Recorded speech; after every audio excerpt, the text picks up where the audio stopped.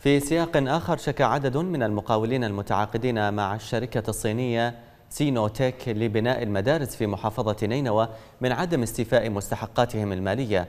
مؤكدين أن مدة التعاقد هي خمسة أشهر بينما مضت سبعة أشهر ولم يتسلم أي منهم لمستحقاته المالية التي تصل إلى المليارات فضلا عن عدم توفير الشركة لأي معدات أو أياد عاملة. إحنا مجموعة شركات محافظة نينوى آه، متعاقدين مع شركة سينوتيك الصينية لتنفيذ أعمال آه، مباني مدارس عدد 92 مدرسة في الموصل والأقضية والنواحي. آه، حاليا الأعمال كلها متوقفة بسبب عدم دفع المستحقات المالية للمدارس.